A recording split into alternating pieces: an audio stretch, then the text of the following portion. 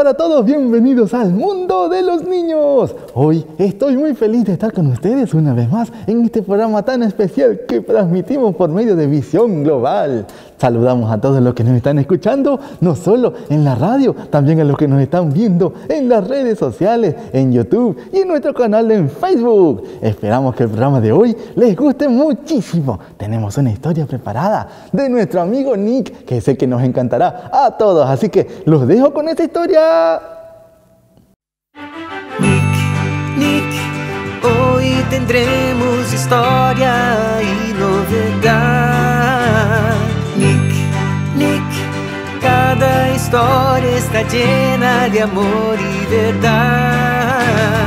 Con el papá, con la mamá y la hermana querida.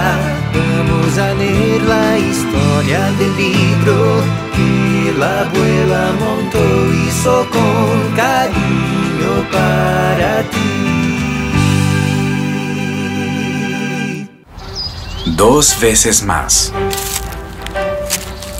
No puedo creer que estemos aquí. Es mucho más bonito que las fotos que vimos en el sitio web. ¡Sí! ¡Miren estas florcitas! Ay, qué bueno que pudimos venir contigo, César. Héctor y yo también estábamos necesitando un descanso del trabajo. Ah, y nada mejor que relajarse en medio de la naturaleza. Ay, hermanita, sabía que este lugar les iba a gustar mucho. No sé si Nick cambió de idea, pero como él dijo que también quiere ser fotógrafo de la naturaleza, creo que aquí sería un buen lugar para que él empiece a poner en práctica algunas técnicas. Ya estoy súper ansioso. Yo también, yo también. Quiero sacar muchas fotos. Tranquila, Gaby.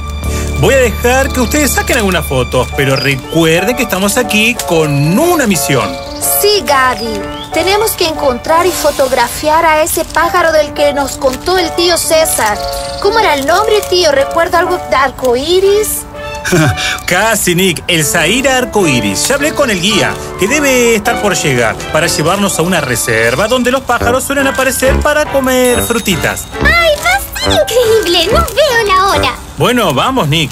La primera tarea de un buen fotógrafo es revisar los equipos antes de salir. Y Gaby, no te olvides del repelente. Eso es esencial.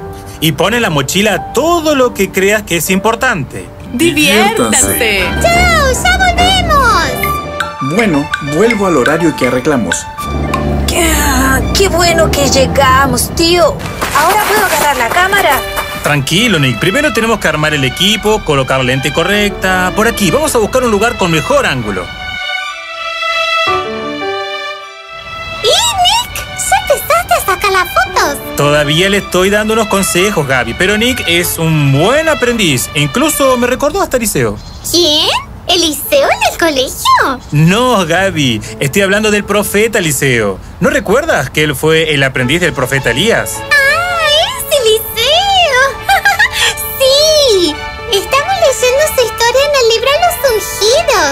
¿Verdad, Nick? Ah, me imagino que Eliseo debe haber sido un hombre genial y muy humilde. Incluso siendo de una familia rica, él aceptó comenzar como siervo del profeta Elías y eso no es para cualquiera. Es que Eliseo aprendió en casa con los padres que eran fieles y las pequeñas tareas lo prepararon para tareas mayores.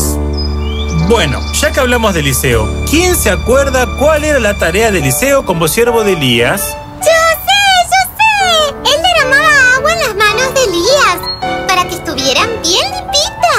Llegaba de viaje o antes de comer. Es que en aquella época no había grifos como ahora. Muy bien, Gaby. Sí, Eliseo también acompañó al profeta Elías en las escuelas donde los jóvenes eran preparados para conocer la ley de Dios. Las escuelas de los profetas. Eliseo también fue una bendición para Elías, porque era un joven tranquilo, más tranquilo, mientras que Elías era más agitado, más duro en las palabras. Lo que más me gusta de Eliseo es la voluntad que tenía para aprender y hacer las cosas correctas. Él quería servir a Dios del mismo modo que Elías, o mejor, dos veces más dedicado.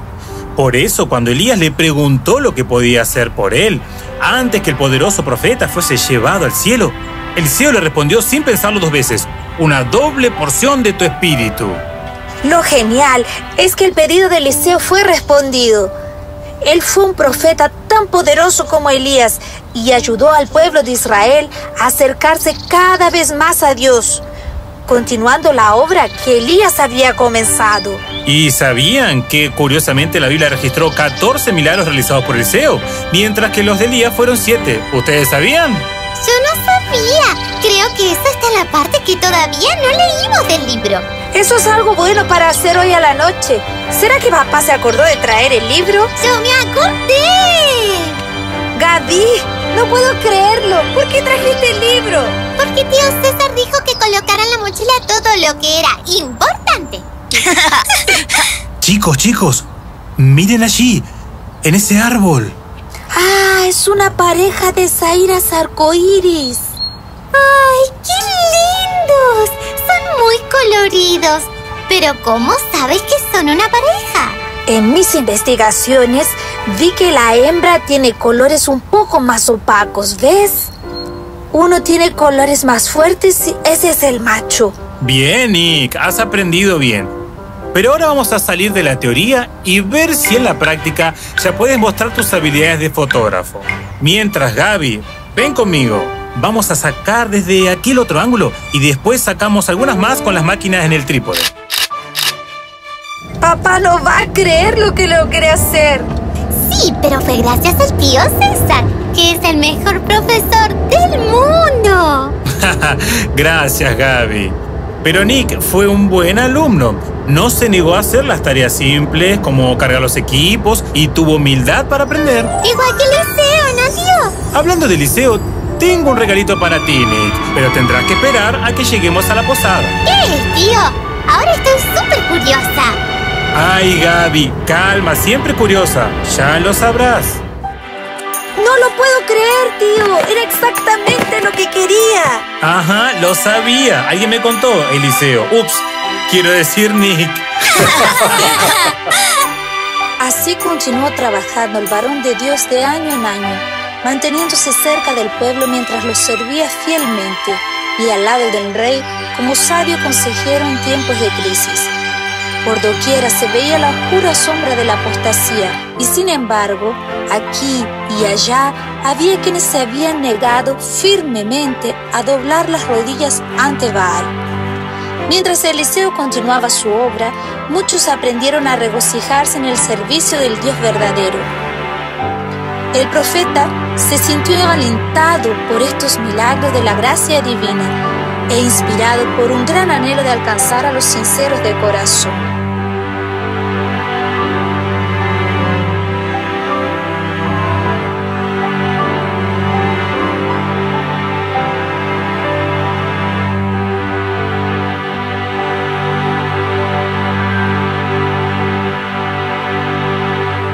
¡Wow! ¡Qué bonita historia disfrutamos con nuestro amigo Nick! Es interesante ver cómo podemos nosotros encontrar historias maravillosas en la Biblia. Muchachos, ¿saben qué viene ahora? El espacio creativo. Sí, el espacio creativo vamos a utilizar una vez más una hoja de papel. Hemos estado utilizando bastantes hojas de papel porque estamos aprendiendo origami. Esta semana vamos a aprender a hacer un conejito de origami que está muy bonito. La verdad a mí me gustan mucho los conejos, a ti también. Bueno, sí, prepara entonces tu hoja y vamos a ver el espacio creativo.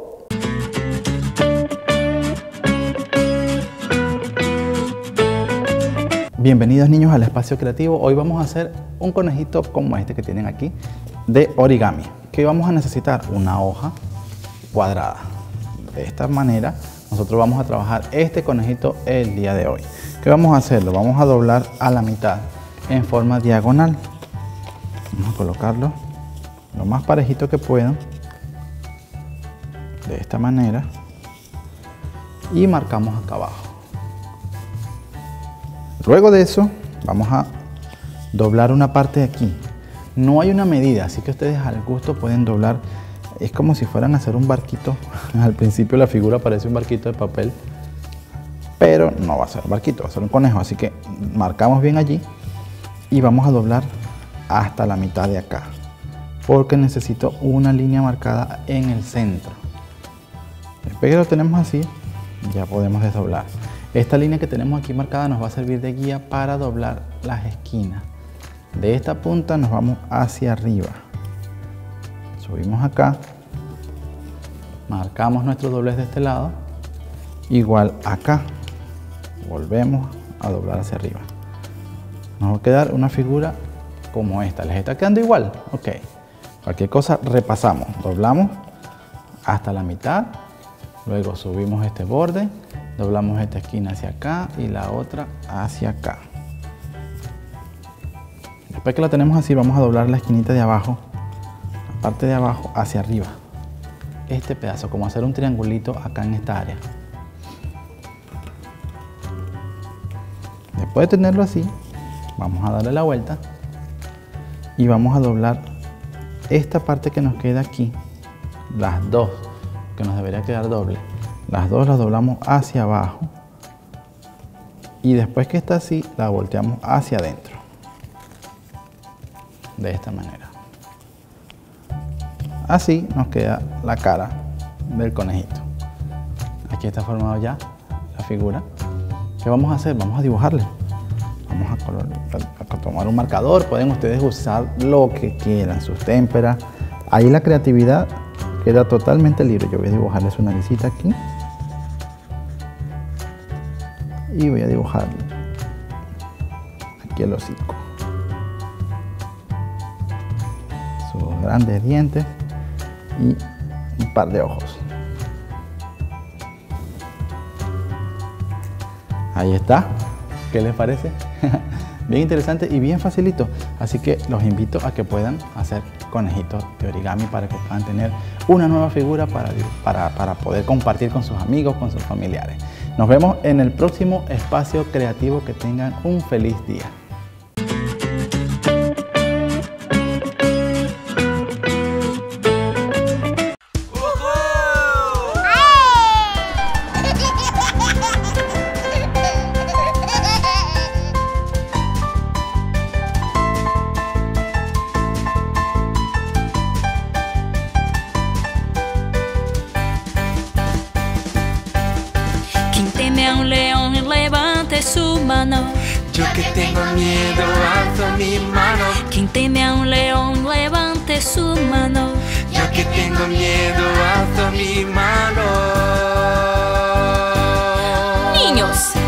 Estamos hablando de leones.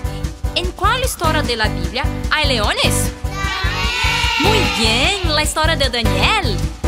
Daniel era un hombre de mucha oración. Abría sus ventanas y oraba en la mansión. Daniel era un hombre de mucha oración. Abría sus ventanas y oraba en la mansión. Por ser fiel, él fue perseguido. Orar a Dios por él fue prohibido. Fue en el gran foso, pobrecito. Como él va a dormir con un león a su ladito. Daniel era un hombre de mucha oración. Abría sus ventanas y oraba en la mansión. Daniel era un hombre de mucha oración. Abría sus ventanas y oraba en la mansión. Por ser él fue perseguido. Orar a Dios por él fue prohibido. Metido fue en el gran foso, pobrecito. Como él va a dormir con un león a su ladito. Daniel, ¿dónde está el león? Daniel, ¿dónde está el león? Daniel, ¿dónde está el león? Daniel, ¿dónde está el león? El león está dormido. Daniel era un hombre de mucha oración. Así un ángel hizo dormir a nuestro león. Daniel era un hombre de mucha oración. Así un ángel hizo dormir a nuestro león. Que no teme más a un león hace su mano.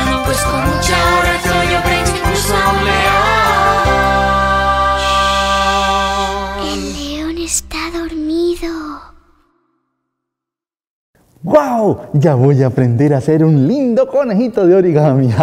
Espero que les haya gustado. Bueno, y ahora viene el espacio que a todos les encanta. Ese segmento se llama La Cocina Divertida. En la cocina divertida vamos a aprender a hacer unas tortillas de frijoles. Los frijoles nos hacen fuertes, nos hacen poderosos, nuestros músculos se ponen muy grandes y nos ayudan a crecer muchísimo. Así que, Tianica, el tiempo es tuyo.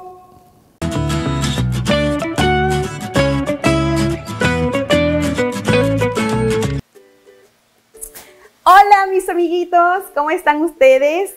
Qué bueno estar otra vez en este, en este programa de la cocina divertida. Vamos a hacer una receta que yo sé que les va a gustar mucho, una receta muy fácil, como todas las que hemos hecho, pero en esta oportunidad vamos a hacer algo que los va a llenar un poquito más. Es muy saludable y vamos a usar ingredientes que nos van a hacer bien a nuestro cuerpo. Recuerden que nosotros tenemos que cuidar lo que comemos porque nuestro cuerpo es templo del Espíritu Santo. Así que vamos a hacer en esta oportunidad unas ricas tostadas de frijoles molido. Vamos a ver qué vamos a utilizar. Vamos a iniciar presentándoles a ustedes, pues por supuesto vamos a usar tostadas de estas que ustedes compran, viene el paquete y son esas tortillas duritas que, ustedes las compran en el supermercado. Entonces vamos a usar de esa. Hay eh, de maíz blanco y de maíz amarillo. Yo conseguí de estas de maíz amarillo. Vamos a usar esto. Vamos a usar nuestros frijolitos molidos yo los preparé aquí en casa. También en el supermercado venden la lata ya de los frijoles molidos, todo bien fácil. Tú nada más lo, lo calientas un poquito y ya está listo. Pero estos fueron unos frijolitos que me quedaron y yo los licué así con guisito y todo eso. Y aquí ya están bien cociditos y moliditos. Aquí está. Eso lo vamos a usar también.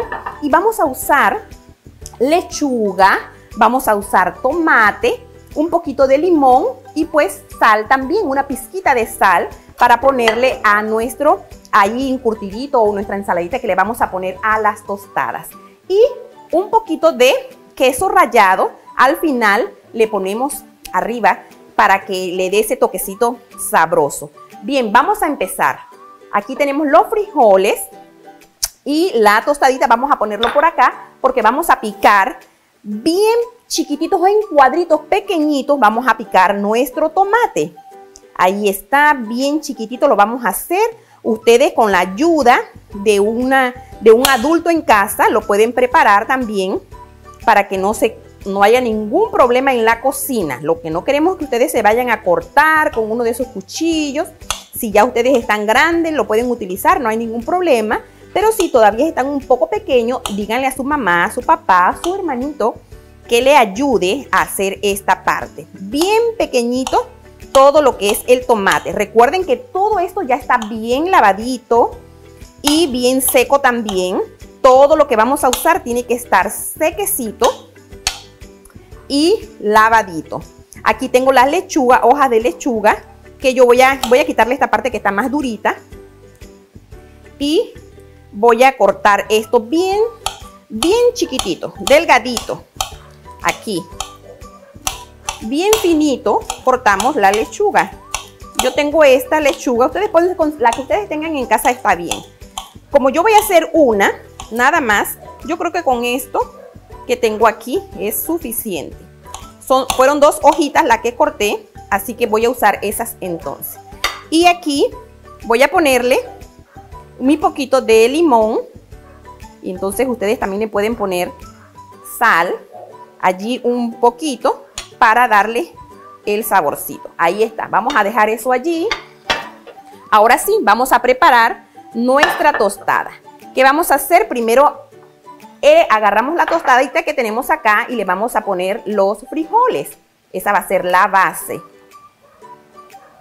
Miren ustedes, qué rico aquí. Bastantitos frijoles. Allí está. Vamos entonces a ponerla en un plato allí y vamos a ponerle los tomatitos y la lechuga. Ahí está. Le ponemos los tomates encima. Miren ustedes qué cosa más linda y qué cosa más rica. Tiene su limoncito y tiene sal. Vamos a ponerlo para acá esto aquí. Y tenemos entonces por arriba, vamos a ponerle nuestro quesito. ¡Wow! Ahora sí, ha quedado bien adornadita, arregladita y con queso, un queso fresco que podemos utilizar para ponerle a nuestra tostada. Ahí está, ya tenemos entonces terminada nuestra tostada de frijoles. ¿Qué les parece? Facilito, sencillo, rápido de preparar, pero muy alimenticio y nutritivo. Así que te invito a que tú lo puedas preparar en tu casa para tu familia o para cuando tengas una oportunidad, estás solo allí, te preparas algo bien rápido y sabroso. Vamos entonces a la parte final, que es la más rica, la más interesante y la que esperamos siempre. Vamos a probar cómo ha quedado nuestra tostada de frijoles. Vamos a ver. Mmm. Qué rico, se siente el limoncito, se sienten los vegetales fresquitos, fresquitos y el sabor de los frijolitos. Muy, muy rico. Te invito entonces, mi querido amiguito, a que prepares una rica tostada de frijoles.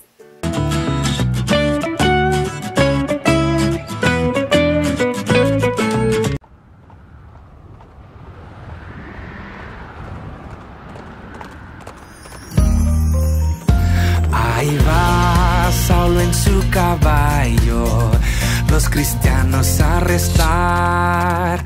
Ahí va Saulo en su caballo, los cristianos arrestar y una luz resplandeció. Ahí va Saulo en su caballo, los cristianos arrestar y una luz resplandeció, del caballo cayó. Ahí va Saulo en su caballo, los cristianos arrestar y una luz resplandeció, del caballo cayó, ciego él se quedó. Ahí va Saulo en su caballo, los cristianos a arrestar y una luz resplandeció, del caballo cayó, ciego él se quedó, una voz escuchó. Saulo. Ahí va Saulo en su caballo, los cristianos a arrestar y una luz resplandeció, del caballo cayó, ciego él se quedó, una voz escuchó, Cristo entonces le habló. Soy yo, Jesús. Ahí va Saulo en su caballo. Los cristianos a arrestar y una luz resplandeció. Del caballo cayó ciego, él se quedó. Una voz escuchó, Cristo entonces le habló. Porque tú me persigues. Ahí va Saulo en su caballo. Los cristianos a arrestar y una luz resplandeció. Del caballo cayó él se quedó. Una voz escuchó, Cristo entonces le habló. Porque tú me persigues, Saulo se convirtió. Ahí va Saulo en su caballo. Los cristianos a arrestar y una luz resplandeció. Del caballo cayó ciego, él se quedó. Una voz escuchó, me persigues, Saulo se convirtió y su nombre cambió. Ahí va Saulo en su caballo.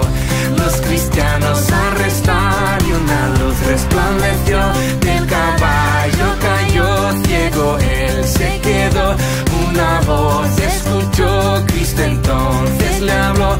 Porque tú me persigues, Saulo se convirtió Fue un gran predicador.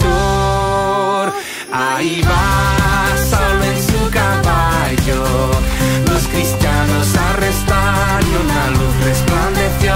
El caballo cayó ciego, él se quedó. Una voz escuchó, Cristo entonces le habló. Porque tú me persigues, Saulo se convirtió y su nombre cambió. Fue un gran predicador, hablan muchos algo.